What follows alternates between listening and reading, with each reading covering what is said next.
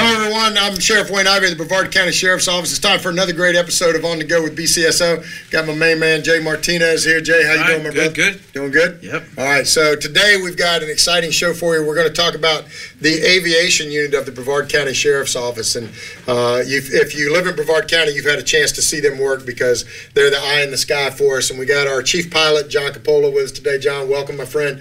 Glad to Thank you, have you Sheriff. here. I, when he first sat down, I thought it was Clint Eastwood and Dirty Harry with his, uh, with his uh, shoulder happens all the holster on. You know, so, that happens all the time. so, but hey, you know, I mean, I, I was wrong. So, uh, John, you've been with the sheriff's office how long now, my brother? Uh, 40 years. Holy cow. Yeah. How old are you, John? Not even 40. That's awesome. Well, I started when I was uh, 12, I think. Yeah, 12 years old. Uh, yeah, he lied on his application. He got in. So. Yeah. Now you have um, the aviation unit for the Brevard County Sheriff's Office, and Yes, let's let's uh, start. Let's go back before Brevard County had an aviation unit. What were you doing then? Um, my first uh, 16 years or so, I was on the road, went through my ranks on the road from deputy to lieutenant. Uh, I was in special ops for a little while and ran special ops, and then uh, they gave me, as part of special ops, aviation. So as aviation got bigger, I ended up just taking over aviation. Yeah. Now, were you already a pilot? Uh, no, actually, I learned at the sheriff's office. A couple of the guys learned at the sheriff's office. So they gave you aviation, and you weren't a pilot.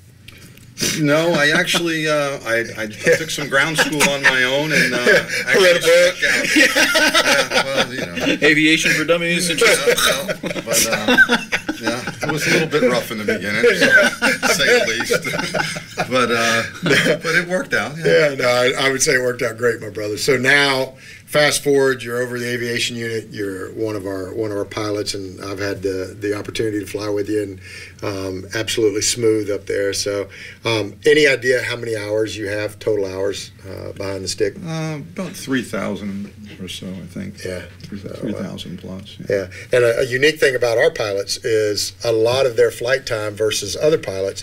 Uh, a lot of their flight times at night. Um, It is, yes. because uh, because of your assistance with patrol and the different things you do. So, so let's talk about the aviation unit as a whole. Um, how many how many aircraft do we have? We've got uh, five operational helicopters. Two are used for rescue work. Uh, one of them is used also for firefighting. Okay. And so we work very closely with Brevard County and the Bambi bucket, um, uh, dropping water and stuff like that for the major fires and stuff. Yes, we do. We also, and, and one of the things that I found um, pretty fascinating when I came here is we do a lot of search and rescue um, off the coast and, and supporting the Coast Guard. Yes. And uh, I think the closest helicopter that the Coast Guard has to us is Jacksonville, if I remember correctly. Is that still accurate? Uh, Jacksonville, Clearwater. Yeah, Yeah, those are so- about the same. Yeah. Yeah, so so we're doing a lot of the, the water rescues and things like that around the um, the the coastline force and stuff. So now, how many pilots you got? Uh, right now, we have five full-time pilots that operate there. There's two actually that are actually seven. The two that work nights are infrared operators and pilots as kind of a backup. Right. So, Yeah, so we have pilots, and then we have tactical flight officers. yes, sir. And what what what's the the tactical flight officer doing? As you said, I know we have a couple of them that um, are um, are also pilots, but they're sitting in the TFO seat um, uh, Yes, on a lot of those missions. So, what is the tactical flight officer doing? He's uh, operating the camera. He's running the infrared system, Okay, and so a also he's, unit. yeah, he's also uh, doing a lot of the talking to the ground units of what's going on, so the pilot can concentrate on his job of flying the aircraft. The two night guys are full time, and then in the daytime we have it spread out among some of our people, and some of the cities actually work with us too. Right. So- Yeah, the cities, uh, some of them put in a, a TFO because we fly missions for them Yes, um, in, in Yes. the areas. Now, in addition to um, our, our pilots and our tactical flight officers, we have a couple other people out there that are vital to the success of that program, and that's that's our aviation mechanics Yes, sir. that are out there. Tell me a little bit about them and what they do on an average day. Um, they drive me crazy most of the time, but no, no, they're, they're no, actually. I, I said the mechanics, not Jay. So, they uh, they're they're actually actually they really they're kind of the heart of the operation to be honest with you. They they're the two of them that we have. Um, one of them is actually a pilot too, so Right. he substitutes as both. And um, you know they're fantastic. Really, they do all the overhaul work except for major stuff like the engines, which go to an engine shop. But everything else is pretty much done in house and um, saves us a lot of money. Keeps the aircraft in top-notch condition. They have a lot of experience to both of them. They've been around helicopters for a long time, so I rely on them really heavily to, to keep the aircraft in the condition they're in. So, and it's always nice to have a guy who flies and fixes. Right, because like. Mike, Mike, you're talking about, Mike's there turning wrenches at one point, and we get a call out, and he's he's flying the the uh, unit the next uh, five minutes later. Yes, So, exactly. Um, now you have your pilots, the TFOs, you have your mechanics, you have one other um, uh, component out there that's vital to the success of, of your unit. Who- Yeah, the what is cat. That's the cat. Yeah. You already know the cat. Yeah, out there. yeah. The so cat. Vinny the cat. Vinny Yeah, the we gotta cat's out cat. I, I don't Yeah. know anything about this guy. He's out Yeah. there. Yeah, he's out there keeping the mice out of the No, house. he's not. So. So listen, here's what the, they got him because they said he was going to keep the mice out of the avionics and stuff. Right. But um, if you've seen him, um, he couldn't catch.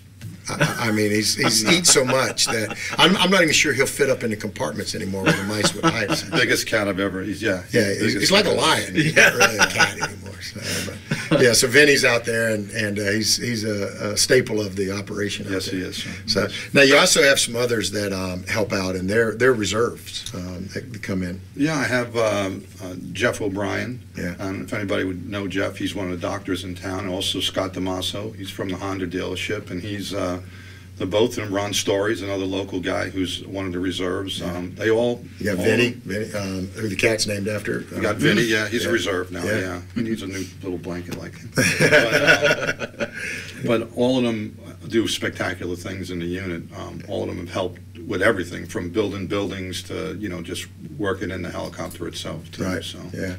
Yeah. I think it's neat, you know, because you're talking about uh, people that are very successful outside of law enforcement. Um, obviously, Scott owning his business in the in the car dealership.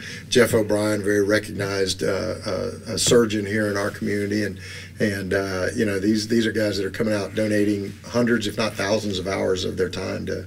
To help your unit out there. So, take me through an average day um, for one of our team members. Um, they work 12 hour shifts. They work 12 hour shifts. Um, you know, when you get there in the morning, first thing you do is pre flight. You pre flight the helicopter. From there, uh, you always have your radio on. You're always scanning all the channels in the county, listening to what's going on in the cities as well as with the sheriff's office. Um, 52% of the calls in the unit is sheriff's office calls. 48% of the calls is the cities, all also part of the cities. So um, from that point, usually guys have to have to take care of the place just like it's home. I mean, they got to clean up, they got to wipe the aircraft down, they got to do all their uh, chores around the hangar. And in that interim, if something happens, then they uh, they respond to calls. Right. So, So um, they have kind of like a, a barracks there or a place, but they, they don't have sleeping quarters. They they uh, have their desks and, and Yes. uh, things they can do out there. Um, working 12 hour shifts. Now, our hangar is positioned at the Merritt Island Airport um, over there. Um, let's say Titusville PD needs you. What's your um, crank it up, lift it up, and fly time to Titusville? about 10 to 12 minutes. 10 to Okay, 12 so minutes. pretty centrally located. And, Yeah. and from the Yeah. time you get the call, you can be airborne and, and on scene. And airborne in about two and a half, okay, two and a half minutes. so now we fly what I call, and you probably have a different term for it, but we fly mission specific. If if we don't have a call going on or a need, that that bird's sitting on the ground, Yes, sir. um, and that saves us on fuel, saves us on hours um, uh, on the on the engines and everything else Yes, um, from it. So sitting there cold, two and a half minutes later, you're in the air. Yes, sir. All right. Yeah. So, what's that like, man? Is that a is that a just a, an adrenaline rush? I never get tired of flying, and um, the, the flying's great. But I got to tell you, the, the things that it produces is actually better than the flying. You know, the the rescue calls are fantastic when you can rescue somebody from a bad situation. is fantastic, and you know, um, I got to say, I never get tired of catching people that do things wrong. So Right. Yeah, you guys get to watch it from the the, Yeah. the best Yeah. seat in the house. You know. so- it is, it is the best seat. That's the scariest seat too. I don't know if folks realize, but do, do these things have doors on them, or, or you just No, there's no doors on it, no Just air kinda hanging out the side. So you, you know, your seat belts are holding you in. Yeah. So and that brings a great point. Our helicopters, um, they're all brand spanking new, right? We just got them. Um, they're a little bit old. Yeah, they're, they're So a like a little bit old, like like you or One was built in 1968. It's been shot down twice in Vietnam, so it's a little bit old, but it's vintage. okay, that's the one that Jay needs to fly in. it's already So- it's crashing. In, in all seriousness, most of our um, unit was um, uh, saw saw time in Vietnam or in um, One of them one has. of the, the other conflicts. Yeah. One of them has. That one actually went to Desert Storm too. The other ones were built for the for Vietnam, but they never saw any time in Vietnam. Right. So, So, built back in the late '60s, early '70s. yes, sir. And uh, what do we fly? What what type of platforms do we have? OH-58, so they look like a Bell 206 helicopter, very similar to it. A little bit of little difference in its size and the blade size on it and all, but very similar to a 206. So the OH-58s are four seaters, Yes, sir. and then we have two Hueys as well, right? We have one Huey we haven't done anything. We've just been kind of working on to prepare it someday for firefighting that we got from the GSA program. Uh, eventually, in another two years, we own the aircraft. So, um, and the other Huey we use for firefighting and rescue work. Okay. And So let's talk about that GSA program because that's, you know, in, in almost every episode we do, we talk about how much money our team saves the taxpayers. Um, we're operating these five helicopters essentially on on go, ready to go, 24 hours a day, 365 days a year. Um, we we operate them. I, I want to say one time you and I were talking, and like if you take away the the salaries and the benefits from the personnel, we're at like $195,000 a year operational cost. Yes, we are. Yeah. How? How? I, I mean, anybody that knows anything and about bulk of that's got to be fuel, right? I- yeah, Um, yeah, that includes fuel, hangar, Yeah, insurance, that's- whatever. Yeah, that includes everything, but the, uh, the way to do that is, is the military does have a program that supports us, so we're able to look for parts. And in that program, the nice part about looking for parts is that um, a typical day for me would be the mechanic telling me what things we're gonna need coming up in, in maintenance. Okay. So, um, we needed a turbine wheel last week, so we called the Pasadena Police Department. We knew that they had turbine wheels, a specific one. They needed some parts for their rotor head that we had, so we sent them rotor head parts. They sent us a turbine wheel. Thirteen thousand dollar turbine wheel for nothing. The parts didn't cost us anything. We sent them, so that's the kind of thing that helps everybody. The whole Right. program. So the GSA or the 1033 program, as, as we Yes. call it, when we buy an OH-58 from the military, um, and really, we say we buy it, but we we could never sell it. We couldn't get rid of it. It's their their um, uh, unit, so to speak. Depends on which program. GSA, we can we can own it eventually. Right. yeah. Okay. So when we buy one, what are we paying for it? Um, well, for example, like the GSA helicopter, the Huey, was five thousand dollars, but in another two years you own it, it's worth about seven hundred thousand dollars. So we're buying a fully operational Huey helicopter for five thousand dollars, That's what we paid for it. Yeah. and then um, we buy a couple others that we cannibalize. For Yes, parts. occasionally we do that for a thousand dollars. We we buy one. We see one on the on on site where it has all the components on it. We'll buy it for a thousand dollars, and we'll we'll remove all the components and and use those components. A lot of them will have to be overhauled, but it'll save us a lot of money. Wow. So anybody that knows anything about aviation or the cost of flying, when when we say we're fully operational minus salaries and benefits of, of our members at $195,000 a year, they're they're just scratching their head wondering how. Close to impossible, yeah, if you didn't have some support and through the programs that we have and the way we operate. Yeah. And and there was a time where they started taking away the 1033 program uh, from us, and and our, our, our president has made sure that that program is back in operation in the GSA Yes. program, and and we're, we're able to, to take advantage of that. And it's not just um, you, you you talked about sitting at your computer ordering parts. You're a lot of what you do too is not just on the aviation side. You're looking for all sorts of stuff for our, our agency. That's the nice part of it. Yeah, some of the things that the military gets rid of, and it's everything you can imagine from kitchen stuff to trucks and cars and everything else that we can get our hands on. In fact, some of the golf carts you were talking about earlier, I don't know if it was one of them we got from, but we got three or four of them a couple of years ago, and Yeah, I don't. I'd Anything be honest with you, I don't know half of what you have out there. I'm just, uh, that's probably a good thing. yeah, that's what I'm thinking too. So, But uh, no, a lot of the support equipment and things like that um, have been the same thing Yeah. gotten from the military. I mean, I mean that program is absolutely amazing, and it, it really does save the taxpayers a lot of money. So, I know, for example, not long ago we got like a refrigeration unit that during one of the hurricanes when we lost power, we, we almost lost all of our perishables in the in the freezer unit out there. So you were able to to get us one that, that's ready to on standby to, to use and stuff. Yeah, I think we got a few of them actually, and I think we paid uh, about a thousand dollars a piece. I think those units were almost forty-five, fifty thousand dollars a piece. Right, yeah, because they're full cargo containers. They're, they they're were brand new. They yeah. had generators in them and everything. They were amazing, Yeah, amazing wow. units. yeah. And so, I mean, anything from even uh, one of our previous shows, we, we talked about the chain gang. The boots that the chain gang wears, um, uh, you get Yeah, from the get from the military. sometimes, yeah. Yeah, from the so- military. So tell, tell me a little bit about that because I've heard stories and, and I know a few folks in, in aviation with oh come out and fly with us come out and fly with us and I always say no because I hear there's there's a drill or a train drill where you, we go up to a certain height and you just turn it off and you just People like you, we do that.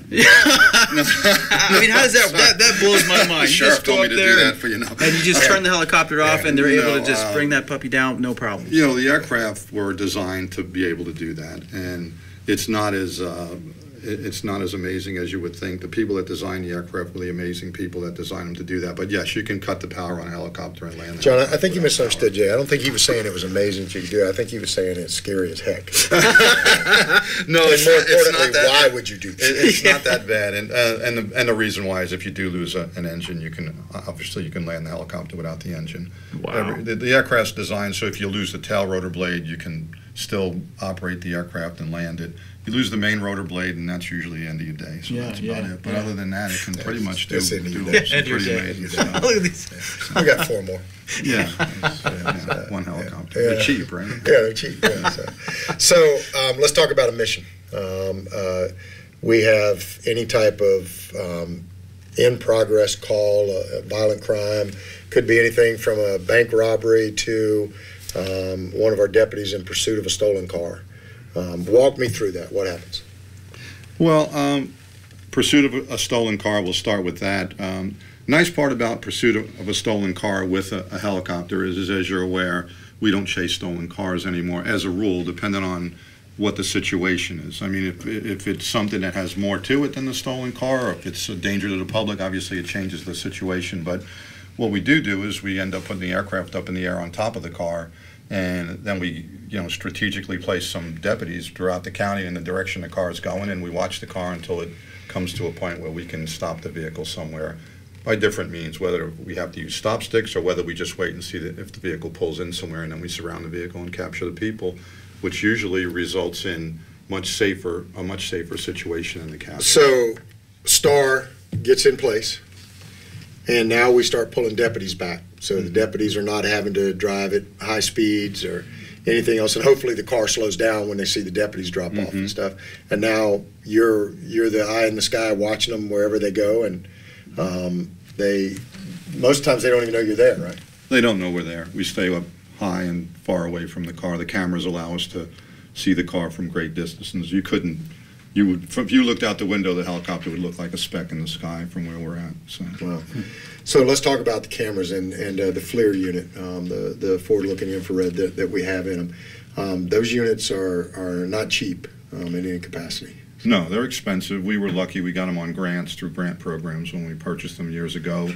Uh, I think now we're starting to look at some updated cameras, the possibility of putting those in. They're starting to get a little tired, but they're still amazing technology. They're they're they're amazing cameras. Right. So And so they're, they're infrared, so at night, once you lock on something, it's, it's there. yeah, they also have a laser in them where you can fire the laser, and the laser will, will hit the target so that the guy, the pilot next to him, is wearing night vision goggles, and, and with those night vision goggles, you can see exactly where the camera's pointed. I'd imagine someone listening like, they got a laser? What are you talking about? yeah, we got a laser. You, know, you, you point it, you can hit the guy. Like, what? but uh, but it's, it's, the technology is getting pretty pretty good. I'll, I'll tell you, amazing actually. So. So um, you're up in the air, you're, you're seeing all this happen.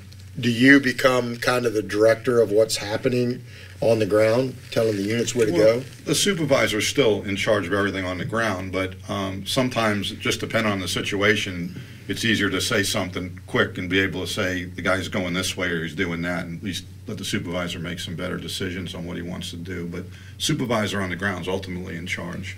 Uh, we kind of take over when the guy is running north, south, east, and west and jumping over fences and you know, and try to give the supervisor a picture too of what's going on as far as how dangerous, say, a vehicle is getting when he is fleeing from deputies, or even when the deputies aren't on him anymore, and the guy decides he's just going to still drive like a lunatic. So um, then the supervisor on the ground can make better decisions to keep the public safe.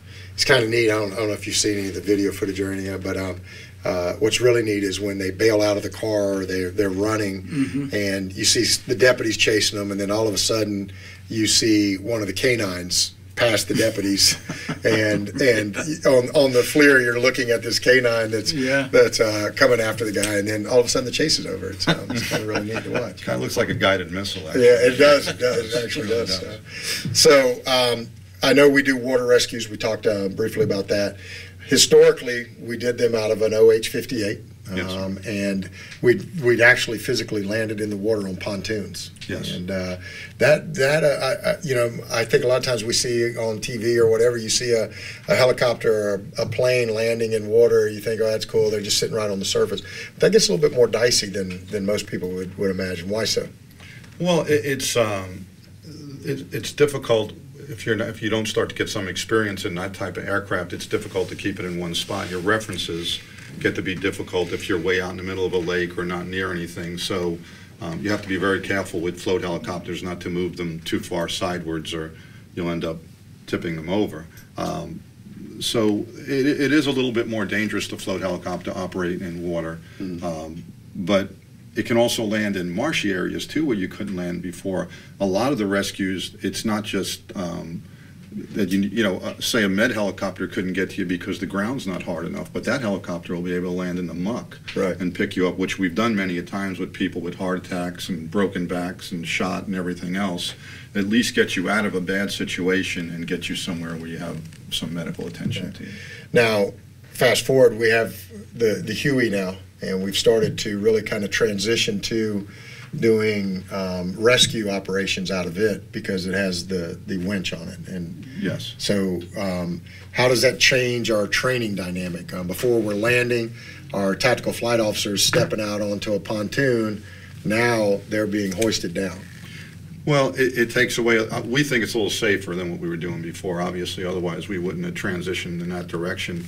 Um, the Huey also, the nice part about the Huey is, you know, a lot of times when a boat sinks, I'll give you one example. You might have been at the hangar actually, but I remember a family with two children and two adults that were out in the middle of the lake one time. We picked them up and, you know, we had to come back a second time. But the Huey will just keep filling people up. It'll take a lot of people to, to make the Huey. Yeah. Um, so you can just keep pulling people, where the OH 58 um, you couldn't do that. And, and it's very rare that a boat's just going to have one or two people in it. Right. Most of the time, Yeah. four or five people in a boat. So So, um, kind of to explain the difference, the OH-58 seats four, Huey seats.